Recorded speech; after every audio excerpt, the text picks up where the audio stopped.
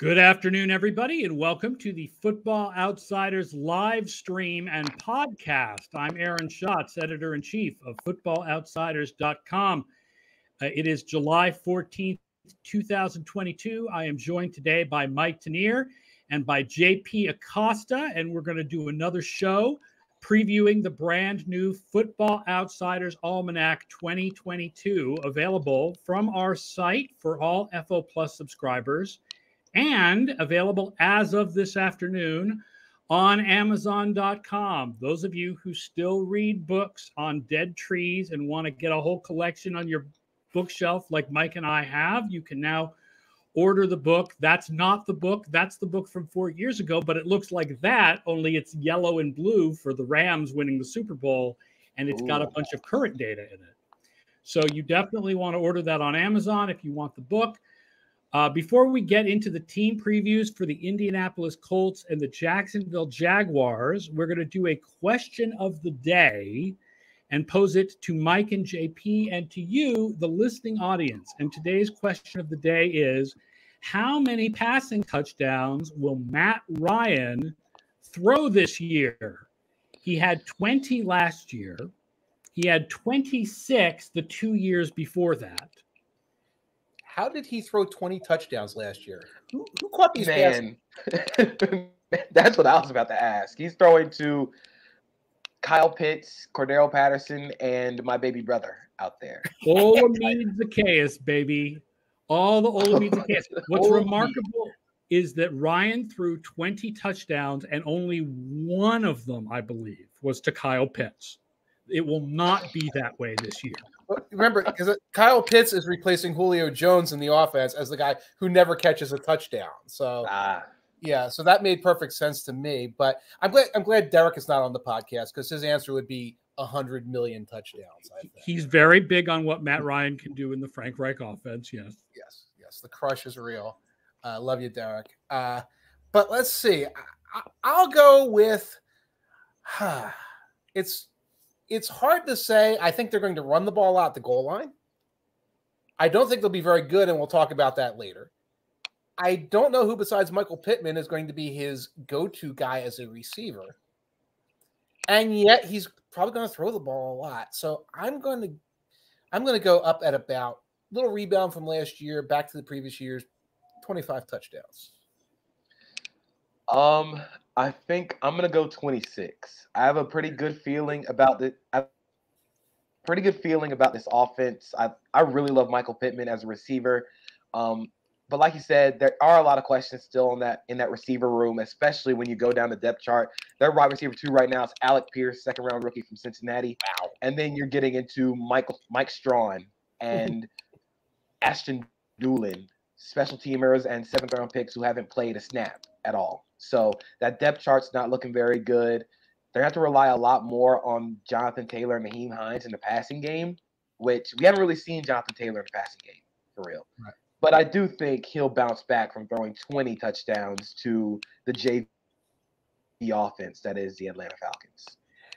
So don't you, forget that folks can make comments if you are watching us on Twitch or YouTube live. We can get your comments and uh, I will say, speaking of Matt Ryan and Atlanta last year, Colonel Kurtz says he has a bone to pick with us from the unit grade shows that we gave the Falcons. Uh, the grades we gave to the Falcons were too good. I believe they were well, almost all D's and F's. well, how can we get past the noted super weapon Felipe Franks? I mean, we got we got to give him respect. The quarterback, tight end, receiver. The man is a mo- he is a modern day Taysom Hill my, my theory on the Falcons, and again, this happened during the shows. Everyone is counting Kyle Pitts as a tight end and a receiver, and Cordarrelle Patterson as a running back and a receiver, and therefore they're really deep. It's like no, they're not deep. They're incredibly shallow. Everybody's doing two jobs. That and AJ Terrell turned into Ronnie Lott during that show. And I know he's a, a good ball player, but oh my gosh, are we sure it wasn't that he has great charting stats because he's the only guy who's any good, and then if where they threw to everyone else? I do appreciate that the Falcons have decided to go for. We're not going to go for any shifty receivers. Everybody's going to be six three to six six. We're just going to dunk on people. Yeah, they would win a charity basketball charity basketball game. They would win a charity. Oh yeah. Oh yeah. If I'm choosing a receiver unit to play five on five, I'm choosing the Falcons. I will point out that Matt Ryan's Kubiak projection is for 23 touchdowns, but that is assuming the possibility of injury. So most of the quarterback projections, like not the book projections, are all 17 games, right? Mm-hmm. The projections that are in the Kubiak app on the site are price in the possibility of injury. Okay. And so pricing in the possibility of injury means most quarterbacks are actually projected for like 16 games. So okay. that it gives him 23 passing touchdowns. So mostly comes out about where you guys are. We're a little higher. We are a little higher than the projection there. A little higher. But I, that I think that there might be someone out there who's in the 30 to 35 touchdown. They're going to he's going to bounce back. Maybe because they haven't watched the Falcons games since the Super Bowl and they assume he's the same guy. And I would say anybody who's expecting that, you're probably a little high. So let's then, talk sometimes. Just go ahead. Sometimes you possibly turn back. Sometimes you possibly turn back the clock. I don't think that clock's turning back for Matt Ryan. Though. no. So let's talk about the Indianapolis Colts. Uh, as we talked about on Tuesday's show, the entire AFC South has an average projection below 500, and all the teams are very closely grouped together, which may surprise people when you think of the Colts were better than this last year and the Titans were better than this last year. But, um, you know, the Titans were not good in our numbers and lost some guys, and the Colts have made some changes. So they actually only come out with 7.9 mean wins. Mm they make the playoffs 37% of the time. 20th projection on offense, 24th on defense. And we'll start with the receivers because, like you said, JP, like the receiver room is really questionable. Michael Pittman, Matt Harmon loves Michael Pittman. Like, oh, thinks yeah. Michael Pittman is due for a massive breakout. The problem is, and then who else is there? Like, right. Parris Campbell is vaporware. and Alec Pierce doesn't have a very good playmaker score, and expecting him to come in as a rookie and do really well seems like a lot of wish casting. Yeah. And then, yeah, then it's down to like Mike Strachan and Ashton Dulin and Keke Coutee and a bunch of college street free agents. Uh, yes. Parris Campbell. Getting... Parris Campbell, by the way, is reportedly healthy right now. I'm just letting you know. He was right now. Right give now. It six, call me in an hour and let me know how he's doing. Give it six weeks. He'll he'll probably sprain an ankle in practice. But I definitely think this wide receiver group outside of Michael Pittman is very much a projection. We're projecting Alec Pierce to he has to be the second receiver in that offense. I think right. Frank Reich wants him to be that second receiver in the offense. That's why they took him in the second round. His profile in terms of as a receiver, his skill set, it mimics a lot of what Michael Pittman already does. He ran a 4-4 at the combine, and I was shocked because you don't see that on tape. Right. But he's very much a go up and get it above the rim type of receiver. The problem is they don't have any other proven type outside of that type of receiver. I mean, again, Keke Coutee played well for like four games for the Texans in the year that was lost, like 2019, 2020. Um, Mike Strachan, again, another one of the bigger type receivers. Yes. But again, this receiver group is largely based on okay, we have to hope that um, Alec Pierce is a good second receiver. We have to hope Parris Campbell is healthy. We have to hope another receiver actually steps up. And this is even with this is without T.Y. Hilton coming back, which I don't think is happening at this point yeah, if that's what you're banking on is, oh, Hilton's going to come back and still be that guy when he's been on a slow decline for a while. But you're right when you mention it. It's all boundary 50 50 ball type receivers. I kind of think that's what Pierce is. Pittman's more than that, but that's kind of what he is at the core. I got the profile strong a couple of years ago. I like the young man, but that's what he is. And he's very much a long range sort of like projection there. And the guys that aren't are Campbell, who is vaporware, and Coutee, who is Bill O'Brien's favorite binky fake Deebo run 10 yards into the backfield to run the reverse guy a couple years ago. I can't believe they're still running. I'd rather throw the ball to Nyheim Hines than him, certainly. Um, where yeah, where are these catches coming from? Overall, the projections are just so very meh for the Indianapolis Colts. I'm just looking at them. I'm, I'm well, that's the whole AFC South. The whole AFC South is just meh, and so it's, this is no no exception. It's a wasteland from hell. This is like the AFC South is Mad Max. Uh, there's nothing. There's no life there. but I do appreciate that the Colts have the largest tight end room I've ever seen assembled. Yes. Mo Alie-Cox and Jelani Woods are both like former basketball players who are six seven. Mm-hmm. I don't think they're going to be a good tight end group, but it's just going to be fun to see them trot out Pittman, Pierce, Woods, and Alie-Cox, and again, just play basketball with teams. I do love Jelani Woods. It's funny though; they're a team that's built out of all the things you shouldn't build the car out of. Like the Colts are great at guard and off-ball linebacker and running back and slot corner. And it's not like these things are not important, but like those are all those are the potatoes. And we're looking for for the steak here. And and you know, the steak, I guess, is Matt Ryan. And yeah, yeah the offense the, the, the offensive line, depending on Matt Pryor to play left tackle, does not feel like that is going to be a successful move. No, no. Yeah, I when I was doing the research for the almanac, I was actually kind of surprised at how bad this offensive line played last year, outside of Quenton Nelson and Ryan Kelly, who both were often injured. Mm-hmm. I mean, Eric, they brought in Eric Fisher. Yeah, was- we know what Eric Fisher is at this point. Eric Fisher was bad. So now you're counting on Matt Pryor or Bernard Raimann, yeah. A rookie, to come in and step in and immediately be that left tackle for a quarterback in Matt Ryan, who does not move very much. He's, he can get out of the pocket, but he's not a spring chicken. I mean, this offensive line, I mean, you really need Quinn Nelson healthy. like I think it's like what Matt what like Mike said, you're building the car, you got a real nice like steering wheel handle, you got the cool little dice in the uh, on the mirror. That's muffler in the but the engine's gone. the engine's gone. You don't have any seats. it, it's you're really just trying to you're trying to piece it together as good as well as possible. And I feel like that's kind of been the crux of what the Colts have been doing since Andrew Luck retired. They've been trying yes. to get the steering wheel. They've been mm-hmm. trying to get the engine, and every engine has been wrong. Yes. There it's all about it certainly feels so go ahead. It's all about look what we've done under the circumstances that we created for ourselves last year by the trying to save, solve the circumstances from the previous year. It's never look at the forward propulsion of this uh, of this franchise. It, it, feels like they've built a good defense. When you look at the yeah. depth chart on defense, this projection looks like it might be too low. I will say a big part of the defensive projection is that they were at the top of the league or near the top of the league last year in turnovers per drive. Hmm. Uh, I believe that they were number two, tied for second, and that tends to really regress to the mean heavily, which suggests their defense is going to get worse. When you look at the defense, you're like, oh, yeah, DeForest Buckner and Grover Stewart and Darius Leonard and Bobby Okereke. And they're, you know, reasonable at safety. And there's Kenny Moore and there's some reasonable pass rushers with Yannick Ngakoue here now. Um, I think a lot depends on one, how good is Stephon Gilmore at this point? Yes. And two, who is playing opposite Stephon Gilmore and how good are they? Right.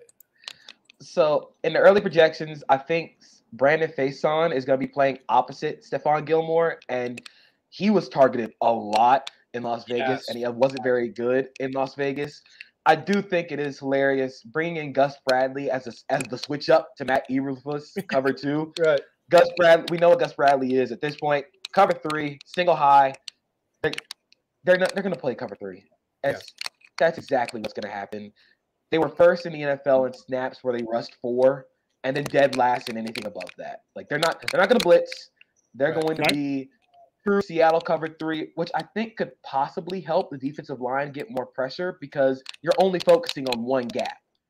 Your okay. your role, Yannick Ngakoue, get to the quarterback. This could help Kwity Paye because he's not necessarily seeing as much attention now on the edges and another year of development. DeForest Buckner is going to be DeForest Buckner. Darius Leonard is going to be Darius Leonard. That secondary is going to be a, an issue, though, outside of Stephon Gilmore. You're going to be counting on Nick Cross, third round safety, to step in and be the around the box player. Yeah. But then you don't have the deep safety and you possibly don't have the second corner. Kenny Moore is great, but again, you got a lot of complementary stuff. But this defense is very reliant on outside corner, and you got to have a dude at free safety. Yeah, it's going to be Rodney McLeod probably, who was great for the Eagles a couple of years ago and has been on the Eagles for a couple of years. He's not a terrible player by any means, but he's not like the dude at free safety. Yeah, he is. He is a dude, not the dude. Yeah, he's a guy, not the guy. Yeah. So, what do you guys think? Right, the projections have the Colts, Titans, and Texans essentially all grouped together, with the Jaguars only slightly behind them. Which team? I mean, subjectively, do you think the Colts are the favorite in this division?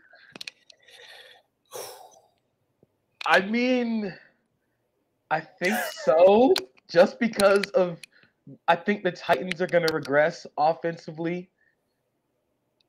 I mean, if they're projecting at like seven wins, seven might win you the division in the AFC South. So I'm, I'm thinking maybe like seven to eight wins for this team. It's a very mad team that's going to be reliant on Matt Ryan suddenly finding the spark again and somebody on defense stepping up opposite Stephon Gilmore. Let me give you a couple of uh, prop bets in answer to that question. Uh, the Colts' chances of missing the playoffs. You can get the Colts missing the playoffs at plus 140. I don't know. So now, say you are more sanguine about the Colts losing in the wild card round. So specifically losing in the wild card round at plus 200. I kind of like that one the best. I'll give you another one here. Colts to lose in the divisional round. Now we were talking last week with Derek. Colts to lose in the divisional round at plus 330. I have a feeling Derrik Klassen would jump on that. That seems to be the range he's in. Well, plus 330, you could tempt me on that. And then it, it goes up from there, etc. But sounds like we're in that range. It sounds like Vegas is in that same range where we're looking at this team that's going to barely scrape into the playoffs. I believe it more because of all the like bad news I've heard out of Tennessee in terms of Treylon Burks not being able to practice and things like that than any of the good news I'm hearing out of Indianapolis. Yeah, they could they could win the division, but uh, like I said, seven wins might win you the division in AFC South. This is hell, essentially. that this, this is the worst division in football. Yeah. Colonel Kurt says Colts are the favorite. If they have the 2017 to 18 Ryan, that's enough to get them the title, pending Lawrence living up to his billing. Titans are really well coached, but their wide receiver room is terrible. It is. It is.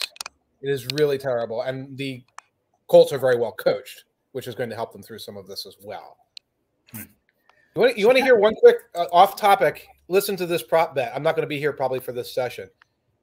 Over 10 wins for the Minnesota Vikings at plus 220.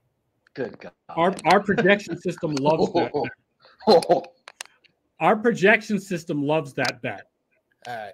Keep that in the mind. The back pocket. If I'm not here, we do Vikings. We're gonna to more than triple uh more than triple your money. Yeah, they our projection system loves that bet.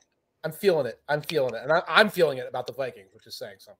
I mean, I don't think it's super like is it 10 or more or more than 10? Let me double check the wording because yeah, exactly right. It is over 10, so you got to get to 11. Hmm. It's over 10. Our projection still our projection system still likes it. I'm a little hesitant, but I'm trying to grab the Colts one real quick here. Uh, the Colts I'm have an alternate win total. You, you have to if you like the Colts under nine, plus yes. 200. That's an alternate win total at DraftKings. Under nine, so eight or low. Our projections are screaming to take that bet. Colts under nine for plus 200. Plus 200. Mm-hmm.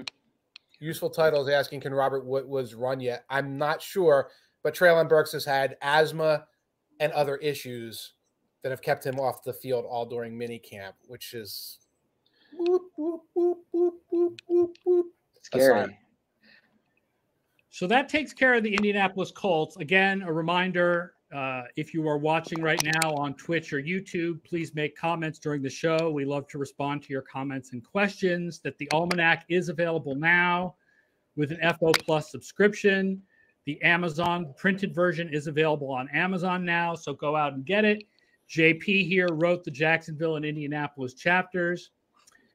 So let's talk about the Jacksonville Jaguars who I've got to say, emotionally, this is not objectively based on our projections. Emotionally, are kind of my favorite to win the division.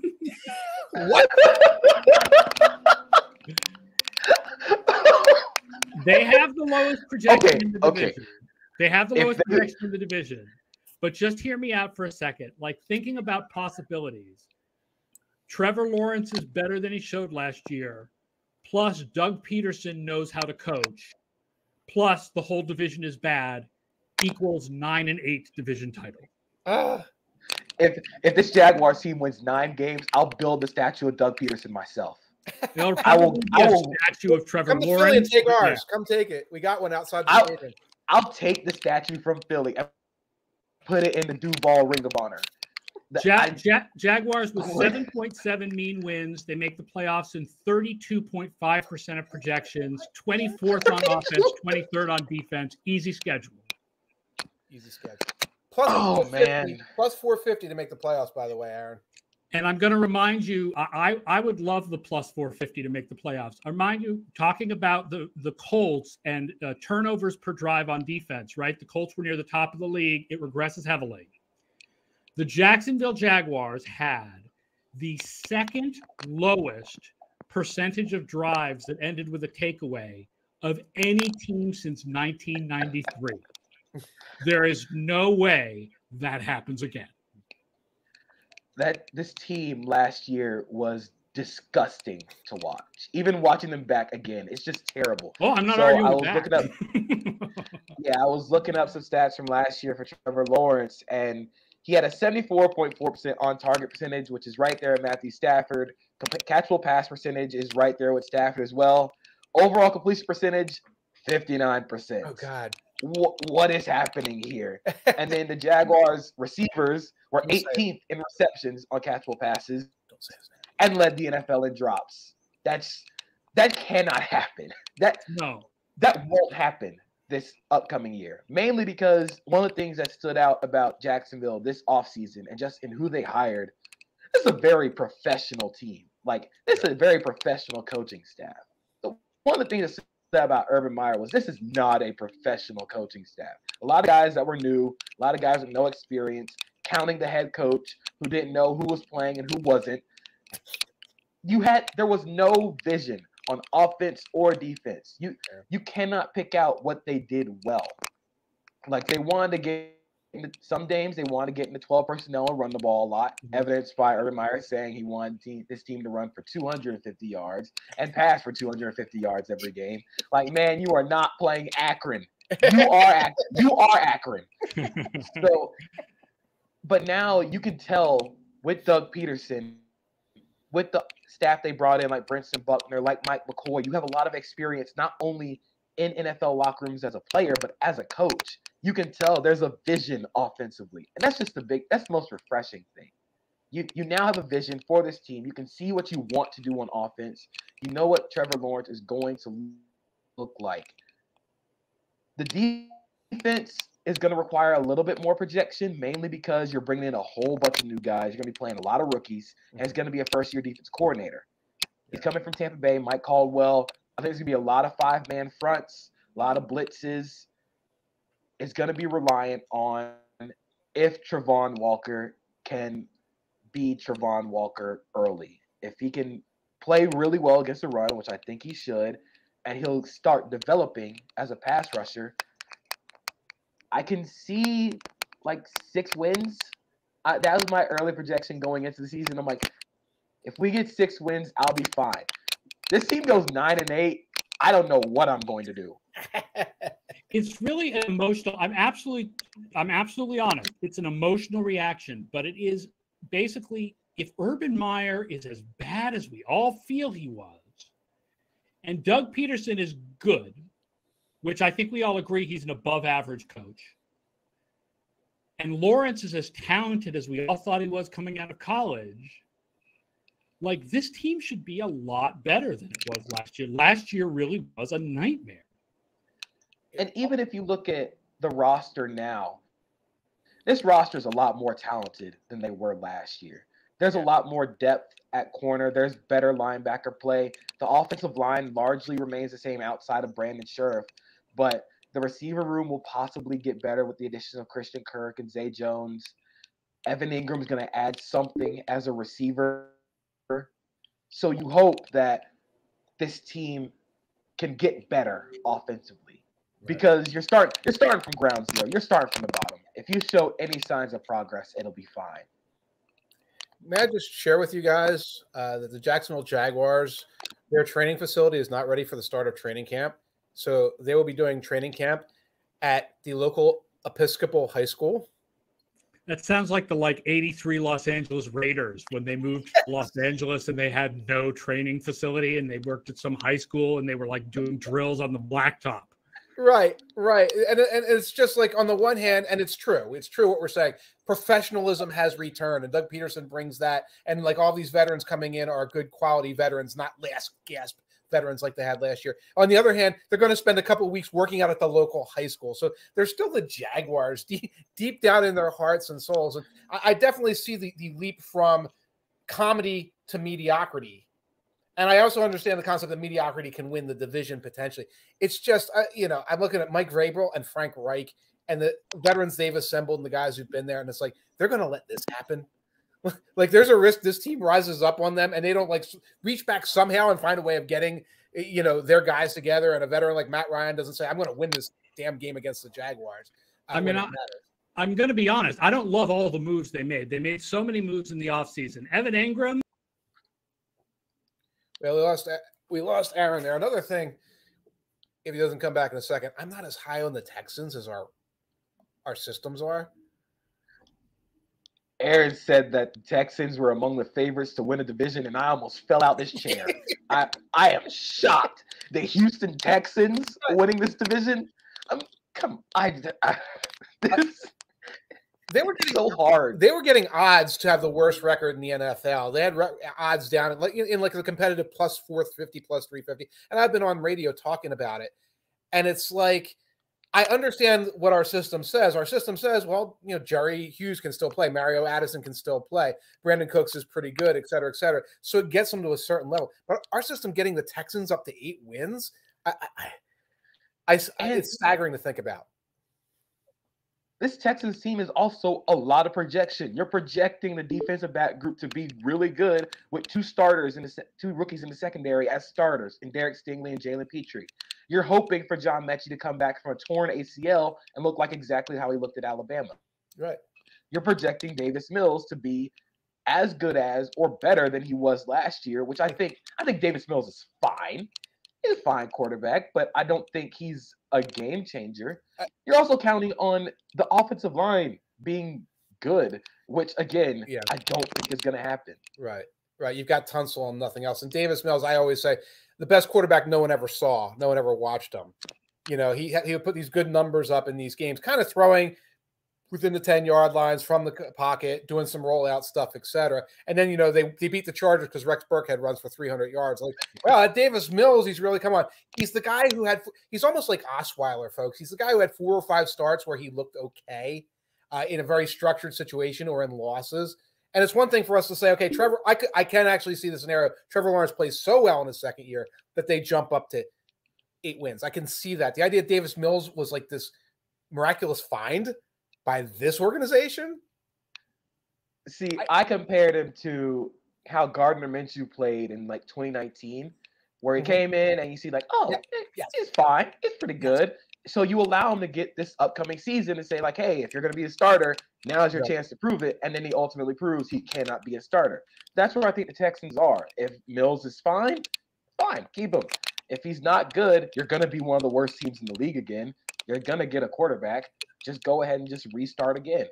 But seeing them as like one of the favorites to win this division, that says a lot about this division. Again, this is a bad division.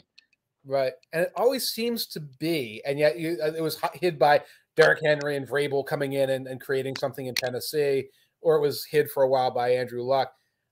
I love the guard. Uh, I love the Gardner Minshew comparison. It was almost the opposite kind of guy because Minshew would make three highlights per game like in this ridiculous situation, it would be a 50 50 ball to Chark and they would get it. And for the rest of the game, like as a percentage passer, he was horrendous. Whereas Mills, it was kind of like dink, dinkety dunk, dink, dinkety dunk, dunk, dunk, dunk, dunk.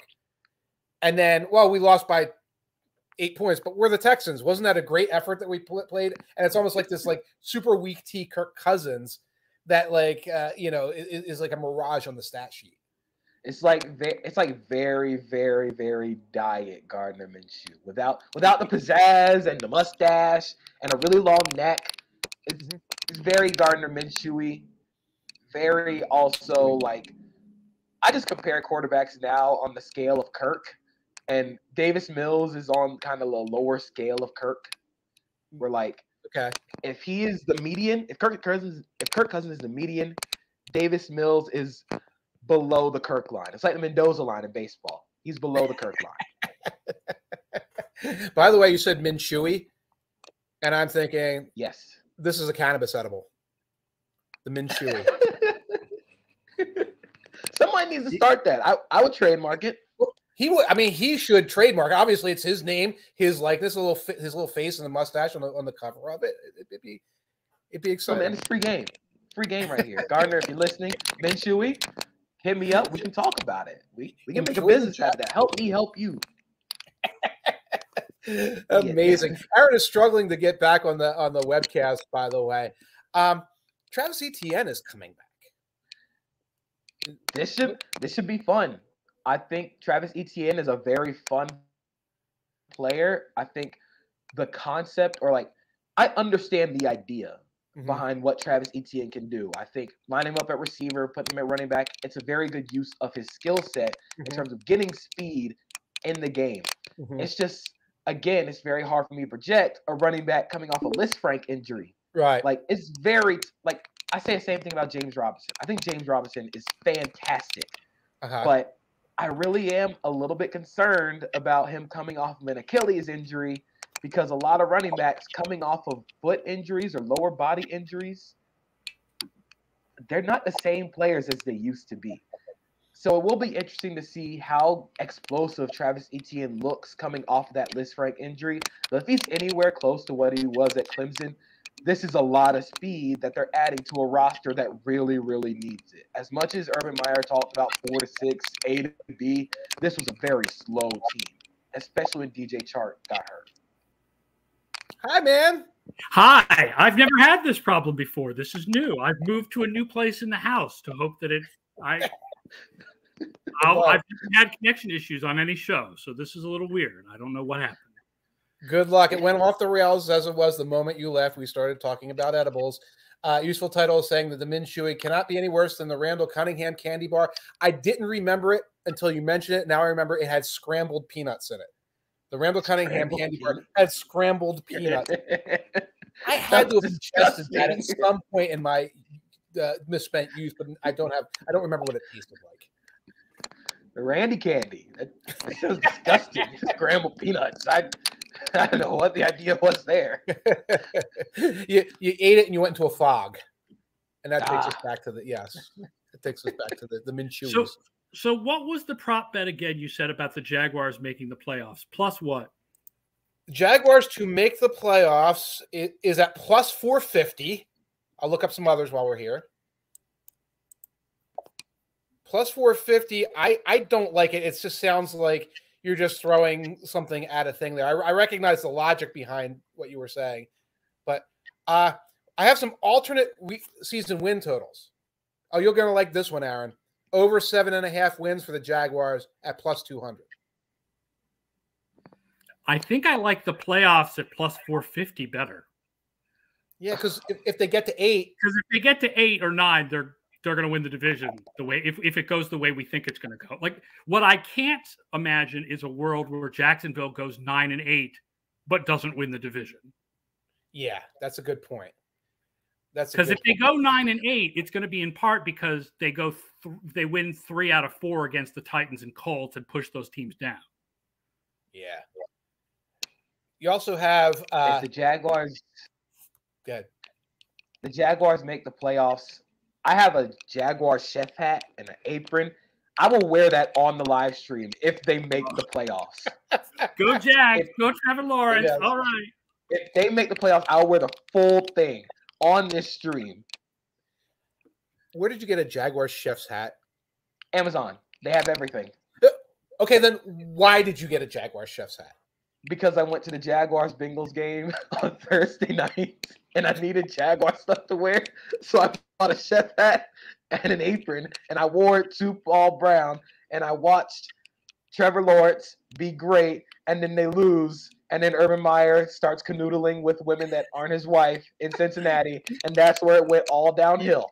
You were in the the kitchen of the bar making the wings while he was getting the lap the lap dance with your chef's hat on. That's what was going on. That's right. I, that's exactly what happened. They, they let me on for a couple hours. I Yep. had to cook something up for Urban. Possibly was not good just to make sure he knows that he's not a good coach. I did wear it to class one day Oh. after um after they beat the uh, Dolphins in London. I wore the hat and the apron to class. Aaron, the guy who owns a Jaguars chef's hat and apron, is less excited about the Jaguars than you are. I know. I guess I just have this this uh irrational love of Trevor Lawrence. I love Trevor Lawrence. I've been hurt by this team before though. Yeah. I, I have been down this road of optimism and excitement. And I you know it leads me? 413. That's exactly where this road leads. Yeah, I, I, I, you know, I mean, I don't. I'd say I don't think you're going to get the 2021 Bengals out of this, but the fact is, the 2021 Bengals, by our numbers, were an average team that snuck into the championship of a division that was having a really down year, and then went on a run in the playoffs. I don't Jones, See that happening here. I'm not a Zay Jones guy, but I mean, uh, they overpaid Christian Kirk, but I like Christian Kirk. I like Yeah. Marvin Jones. Um, the offensive line is is reasonable. It's not terrible. Brandon Scherff is a nice addition.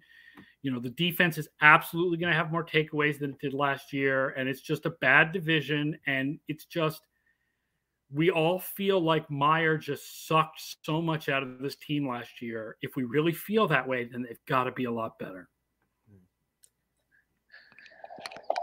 I'll it's not backed up by the numbers. I'm not. I'm Yeah. telling you, it's emotional. I'll stay. I'll stay on the seven side of the seven point seven win projection. I'm gonna stay on that side of it.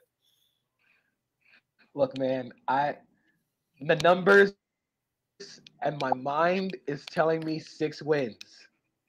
But my heart believes believes in the second year leap, the Joe Burrow like second year leap from this team.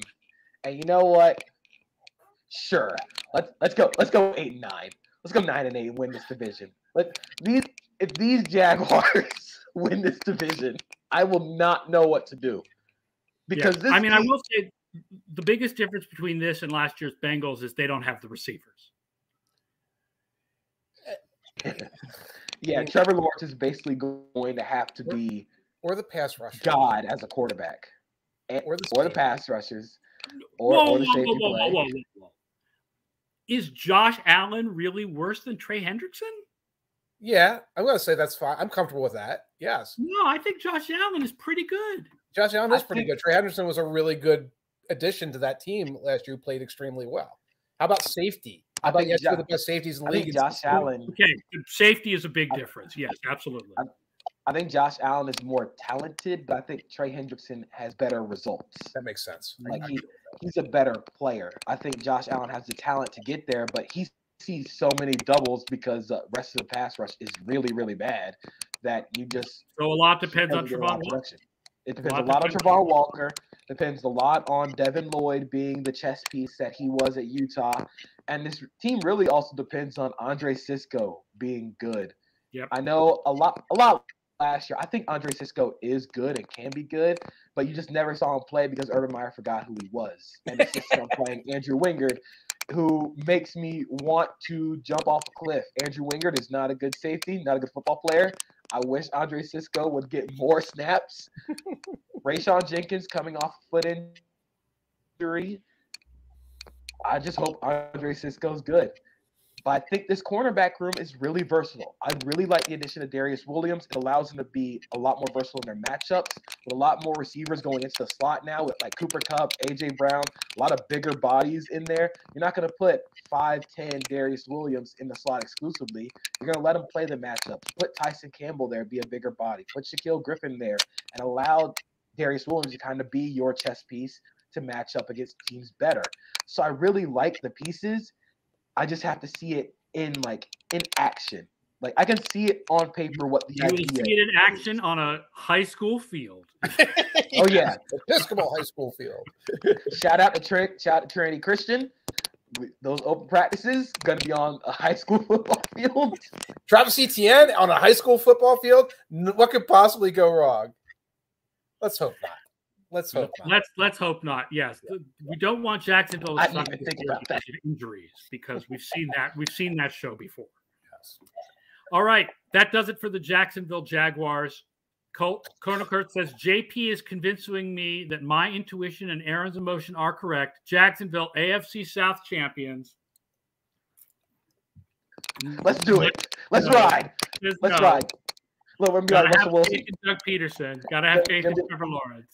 Gonna be like uh, Russell Wilson. Jaguars Nation. Let's Gotta ride. have faith in Derrick let's Henry do it. blowing out his knee. Let's do it. I'm I'm all in on this. Let's go. Jacksonville Jaguars, AFC South champions. I'll wear We're the that chestnut. apron and hat on this live stream. If they win the division, they go to the playoffs. Great. We talked Colonel Kurtz into something. No way that comes back to haunt us. All right. That does it for today's Football Outsiders Almanac preview show. Uh, don't forget to get the Almanac FO Plus subscriptions, gets you the PDF version of the Almanac. Amazon has the printed version right now. We're doing these shows Tuesdays and Thursdays for the next few weeks, covering two teams a day. So the next show is going to be Tuesday at 1 p.m. I believe it's Scott Spratt and another guest to be uh, announced. And we are going to do the Buffalo Bills, our Super Bowl favorites, and the Miami Dolphins, also a team that Scott wrote about. That is not our Super Bowl favorites. And that is Tuesday. Don't forget to like the show. Don't forget to subscribe to the show. Don't forget to tell your friends about the show. We're going to be here for the next seven weeks previewing every team, two teams a day, two days a week. Don't forget about Splash Play 2 tomorrow, I think 2 p.m. Eastern, talking fantasy football. Thank you, JP. Thank you, Mike. Mike's going on vacation. Mike will not be here for the next few shows. I miss We're everyone. Take some time off. Heading to Europe. Heading to Europe on an EF tour. I'm going to be in Budapest, Prague, Krakow, and then we take Berlin. Uh, and I can't wait for it. And I'll be back as soon as I can to talk prop bets with y'all. Like the Jaguars on a yearly basis, he's going to Europe. yes. All right. That does it for our show, everybody. We'll see.